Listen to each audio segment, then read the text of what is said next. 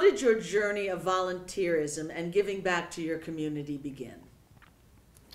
Probably uh, the example was set by my parents, who were very active in community events, and my grandparents, who lived across the street from us when I was little in Norwalk, Ohio.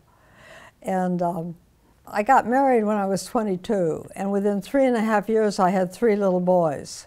So I didn't have a lot of time to volunteer, but that's when I started to volunteer, when I lived in here in Ohio.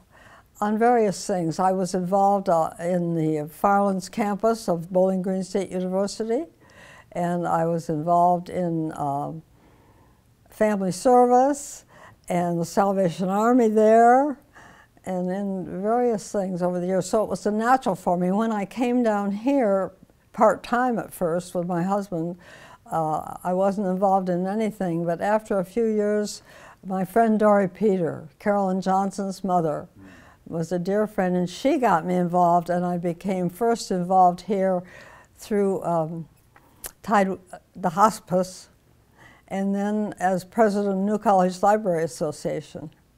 Fantastic. And it went on from there.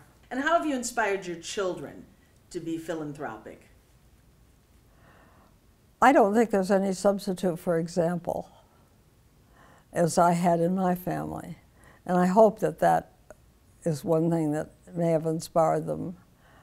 But also, I brought them up to be responsible for their actions, and I think that's very important. Yeah, I do too. That's great. responsibility takes a responsibility not just for your family and yourself and your your ch- your marriage and your children, but for your community and its needs.